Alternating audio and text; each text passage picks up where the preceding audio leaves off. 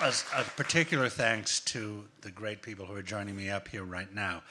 Um, Gail Papp, who is.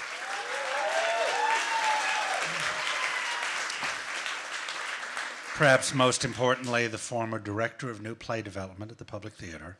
And I cannot tell you the plays that would never have happened without her, but the one that is uh, perhaps most famous in our minds is Normal Heart wouldn't have existed without Gail. And Larry Kramer would be the first to say so. She's also a member of the board of directors and hence my boss. And, and she's also, of course, uh, the wife of uh, the founder of this place, the late Joe Papp. So welcome, Gail. Glad to have you here. And on my right, um, Commissioner Mitchell Silver, who is my landlord, our landlord, who's the Commissioner of Parks here in New York City and has been a stalwart supporter of ours and um, a, a great partner in all of our endeavors.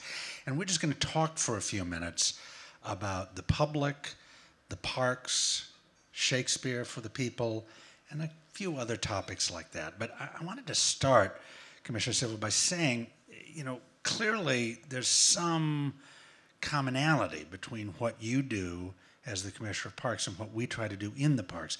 And so you you have embraced us with such generosity and open-heartedness that you must believe there's a real place for arts and culture in the parks. And I wonder if you could talk about that relationship a little bit. Uh, well, I do. Uh, in the 21st century, parks evolve over time if you think about, in general, our consumers, previous generations were consumers of goods, but the new generation is really consumers of experiences. And that's what our parks and public space should be about. How do we share those experiences with New Yorkers and our visitors? There are some that want to come and see the gardens and enjoy the green space, but there are others that really want to experience their parks. These are the great democratic public spaces, regardless of your income, regardless of your, your race or ethnicity. Parks are free. And I believe it's the same thing for arts and culture. We want to make sure we have this great partnership, uh, whether it's public art or it's culture, that people should be able to come to our incredible public spaces, which are open for all, and to enjoy great experiences that they'll remember as long as they live. You could have that just could have been the public theater's manifesto. We, be, I mean, we believe in that so completely. The idea that actually that having a commons, having a place where everybody comes together and rubs shoulders, regardless of race, ethnicity, class, income level, education level, is what makes a city a city. It's what makes a civil society a civil society. You may sleep in your homes and your apartments, but you live in the public space. We want to make sure we have all those experiences because that's where people truly connect and enjoy their lives in our parks and public spaces. It's like he's Jane Jacobs. It's fantastic. I wish I was her son. That would have been great. and Commissioner, you were going to ask Gail something, if I remember right. Yes, Gail, it's certainly a pleasure to meet you. And my first question, because I don't know if a lot of people know this, but is it true that sanitation trucks were used originally for the mobile theaters? Um, yes, actually, that was true. Uh, back in the early days, when Joe was trying to scrounge up any kind of contributed support, he went to uh, seven or eight different uh, city agencies asking for help, and he asked for sanitation trucks to pull his mobile theater uh, that he was touring the city with at that time, and he got them. That is absolutely an amazing story. So, the success of these productions between 1954 and 61 led Joe and the festival to want to have a permanent home in Central Park. However, there was a conflict between Robert Moses, you can hiss, and your husband, Papp, so, what these were really legendary conflicts. Can you share with us your recollection of some of these uh, major challenges back then? Well, it was uh, it was pretty strong, uh, but I think the heart of it was uh, the best story of this thing is actually in Robert Caro's book about Robert Moses. He has a whole chapter devoted to this contest between my husband and Robert Moses. and um, it, it, it had to do something with personality. Uh, but the way Caro interprets it is that Moses was very dedicated to his second in command, who just couldn't stand Joe. He just hated him. Uh, and uh, he was sort of torn by his admiration for Joe, and I think he kind of liked him, actually, uh, and being faithful to his second in command. So he backed up a lot of horrible uh, activities and attitudes for a while. And then he changed, and I think you'd have to say that uh, we owe the Delacorte Theater to Robert Moses, because after Joe, Joe sued him and won. and Moses kicked Joe out of Central Park because he wouldn't charge admission. That's the simplest rendition of this very long story. And uh, after that, uh, it went to the state appellate court, and uh, Joe won. He'd been defeated in the lower court, but he won in the state appellate court. And uh, Moses immediately turned around and instead of uh, opposing him, asked the city for money to build a permanent theater. So that was an amazing uh, reversal of fortune uh, and also the whole controversy that went on for months and months in the press put Joe on the map. I mean, the idea of free Shakespeare just became a rallying call. And uh, he used to say that it was probably the luckiest thing that ever happened to him. uh, so that was an interesting relationship. They never met, they never even spoke. Uh, Moses refused to do anything except through correspondence. So um, this idea of a David versus Goliath controversy was partly legend, I think. And uh, I, I think that Caro's analysis of it is probably the best one that I've read. After hearing some of the performances tonight, what we hear, how we feel, and how those performances can change lives, we thank you for your husband's perseverance. We truly oh, do. Oh, well, I do, I do too so now, let's listen to Joe Papp speaking at the opening of the Delacorte Theater. The existence of this theater has many uh, ramifications, many important considerations. But one of the most important, I think, is that it is a uh, tribute to democracy. It's a dramatization of a city government's response to the will of its people. In the process of its evolvement, we had recourse to every piece of democratic machinery. The courts,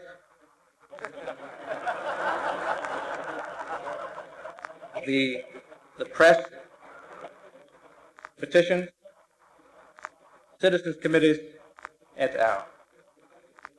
All these joined in the struggle to keep Shakespeare free in Central Park. The fact that it is free is key to the understanding of the significance of the festival.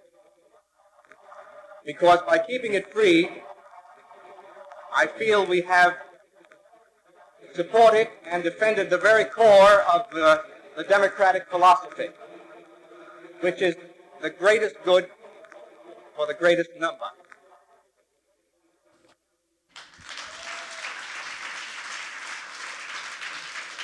And, you know, listening to that, listening to Gail, maybe you understand why I consider myself the luckiest boy ever born in Minnesota to be able to sit in Joe's chair because this is a theater that there's absolutely no gap between what it stands for and what I believe in. It's just extraordinary. This theater is based on the idea of democracy. And um, I'm not going to bore you with my speech about how theater and democracy were born together in the same city, in the same decade, on the shores of the Aegean, uh, 2,500 years ago. That's the capsule version of the speech. Um, but it's, it's, it's what I have always believed that actually theater is the particular art form of democracy because it implies equality, it implies community, and it implies that the truth is not the possession of anyone. The truth is to be found in the argument between different sides. You know, as soon as you believe that actually in drama that's based on conflict, somebody isn't right and somebody's wrong. It's in the conflict that the truth emerges. And you have to believe that if you believe in democracy. Otherwise, you're basically just using democracy as a cover, as a shield. You really believe you're right, and that if you can take over, you'll make everything right. You don't believe in democracy, but the theater does believe in democracy. It doesn't believe that any single one of those people on stage knows the truth. It believes that only by talking to each other are we going to discover what the truth is. Um, so I managed to slip in the speech. I know. I'm sorry. Um, but Commissioner, you you are in charge of the parks of New York City, not just Central Park, but all the parks and all the boroughs. And I know you're a planner. You're not just an executive. So when you look at these parks and you look at what you want to do for the future, what are you thinking about? What are you planning? We, we already discussed really building an experience for our our users. I don't just want to be a park uh, build parks. I want to be an experience builder. And we're working with our staff to make sure each and every park reflects the needs of the local community. Uh, but more importantly, I took this job because of one simple word. It's called equity. And when I use the term equity, it means fairness. Are we fair about how we care for our parks in each and every neighborhood in the city, the resources that we provide? And so we did an analysis uh, in our city to find out how much have we, what, how many parks in our city receive less than a quarter of a million dollars over two decades. And it turns out there are well over a hundred. These parks and families and seniors, they were hiding in plain sight. So our first mission was to make sure that these neighborhoods, these communities, would get the resources that they need so that they too can have their town commons to connect, to play, uh, to age gracefully in the parks. And so equity became critically important. But we also knew we needed something else, and that was the arts and culture. And so, what I love working with the public through these mobile units is that we're able to bring these incredible experiences to people who may never have been exposed to Shakespeare and other performances. And we all know that lives will be changed in those rooms when they see those performances. I was moved this evening from hearing the performances. Parks about creating memories. And we want to work together to make sure we create those memories for present and future generations. And so having equity at the top of the list, making sure that all New Yorkers, regardless of the neighborhood, can enjoy the incredible experience for free is something that's so important both to me and this administration. Absolutely. I don't have a chance to vote for you tomorrow, do I? Uh, there's always 2020. No, I'm kidding. So, as your landlord, Oskar, can you really tell us how the public manifests its mission uh, over the course of the years? Yeah, I, I can try to, but I'm going to focus on one specific thing because you've just inspired me talking about equity around. We, you know, Free Shakespeare in the Park is the jewel in our crown. It was the founding thing that we did and it remains the most visible and important manifestation of our mission. I've sometimes said that if you just take the words free Shakespeare in the park, you can unpack everything about the public theater. Free means that we're committed to being accessible to everybody. Shakespeare means we're committed to doing the best work, the most excellent work. We're not doing, as Merle Debuskey said during the course of the great conflict between um, Bob Moses and Joe Papp, at one point there was some internal discussion of maybe we should charge. And Merle looked at Joe and said, Joe, I will work for free Shakespeare. I won't work for cheap Shakespeare. and I think it's the perfect encapsulation. We're not just doing free stuff. We're doing the best stuff for free. You're seeing Shakespeare for free. You're seeing Meryl Streep for free. You're seeing James Earl Jones and Jeffrey Wright and Liev Schreiber, and I could go on and on. You are seeing the best that America and the English language has to offer for free. And in the park means that we're committed to the public mission of the theater. What, you know, one of the things that Joe believed was the theater had something to offer to the great discussions of our time. when we're debating the issues of our time, when we're debating immigration, don't you want to see Hamilton? When we're debating gay rights, don't you want to see Normal Heart in or Fun Home? In other words, that there is something the theater can provide. Um, our, our friend Samantha Power, who's ambassador to the UN, has started taking groups of ambassadors here to see our shows um, because she finds it very useful. She took the entire Security Council to see Hamilton down here. The Russian ambassador didn't like it. Um, so, so far, him and Michael Riedel are the only two people we can find. Um, but the other, th- the story that she told me is that she had taken a whole group of ambassadors to see Fun Home up on Broadway, and she hadn't told them what it was in advance. And many of the ambassadors were from countries that had terrible anti gay laws.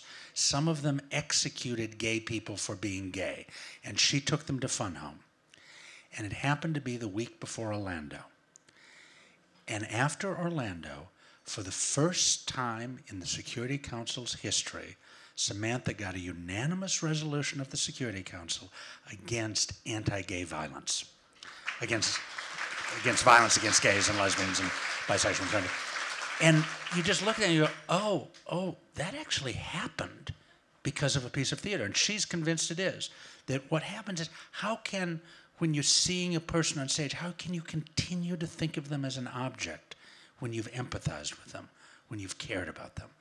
And anyway, so the I have, as your landlord, I have one more question for you. so, uh, very quickly, the sanitation trucks are gone. Robert Moses is gone. Can you tell us about how you have transformed the mobile unit for which the entire city is able to benefit? Because this, in my opinion, is an incredible equity mission that fits right into what we're trying to do in our parks. Thank you, Commissioner. You got me right back on track. Thank you.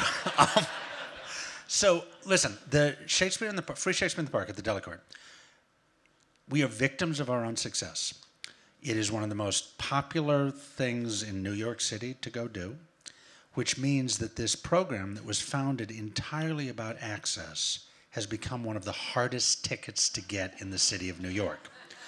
We removed the economic barriers to seeing the shows, but I mean, really, how many people are capable of waiting in line overnight in Central Park to get a ticket? So, what we knew is precisely because of that success, we had to take ameliorative action. And as usual, when you're at an institution as great as the public, you can fix things just by looking back and going, well, you know, we started, Joe started doing this as a mobile unit. Let's do it again. Let's revive it. Let's go to where the people are.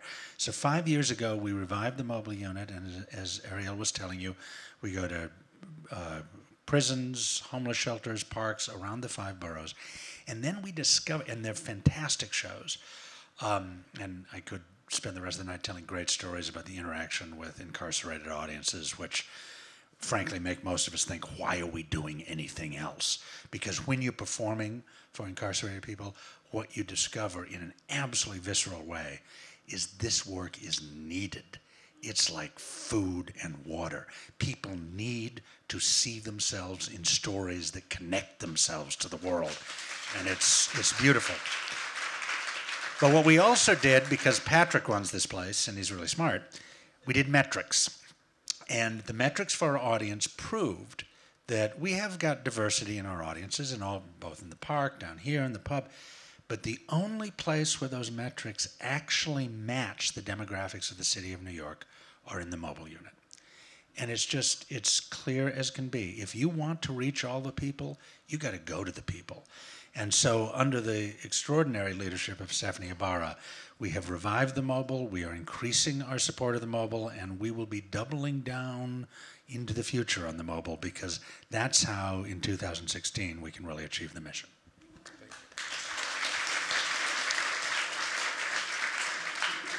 Um, and now it's uh, my, what I'm going to do is I'm going to walk a little bit downstage and thank Gail Papp and Commissioner Mitchell Silver. Please thank them for joining us.